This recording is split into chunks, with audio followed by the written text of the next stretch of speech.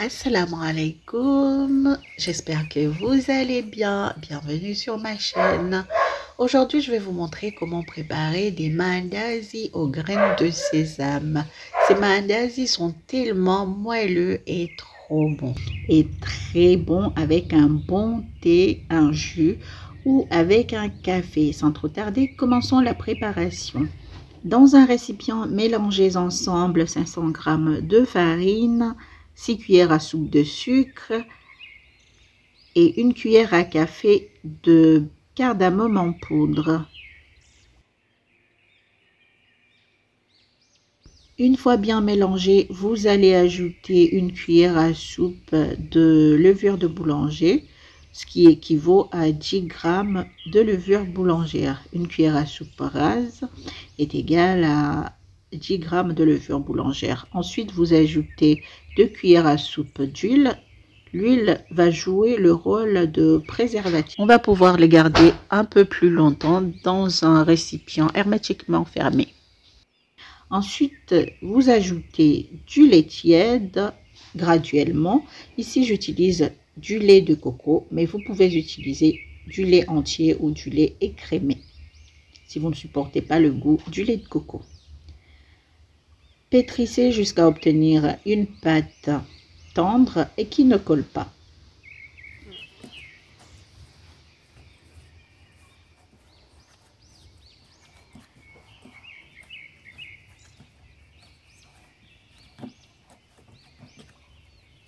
Si la pâte présente cet aspect-là, elle n'est pas prête. Continuez de pétrir jusqu'à ce qu'elle soit un peu lisse peu lisse, pas complètement lisse.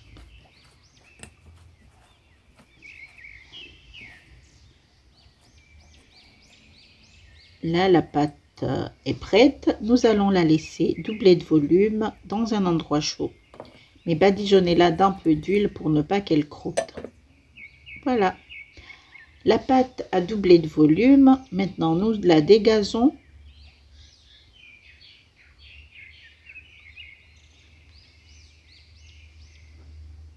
Voilà.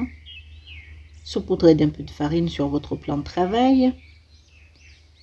Et divisez la pâte en quatre parts égales.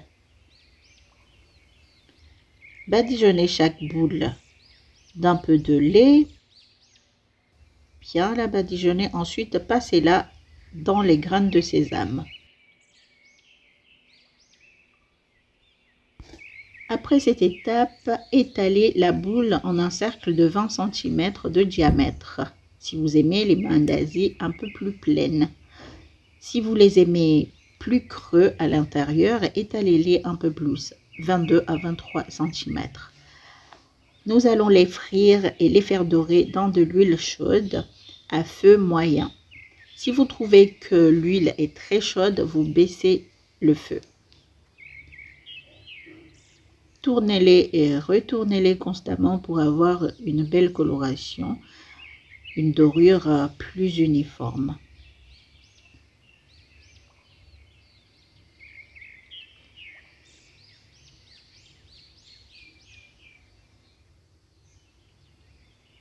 Il faut vraiment avoir de la patience. Là, ça commence à dorer. Pour savoir s'ils sont prêts, piquez-les euh, avec la lame d'un couteau ou une fourchette ou un pic à brochette.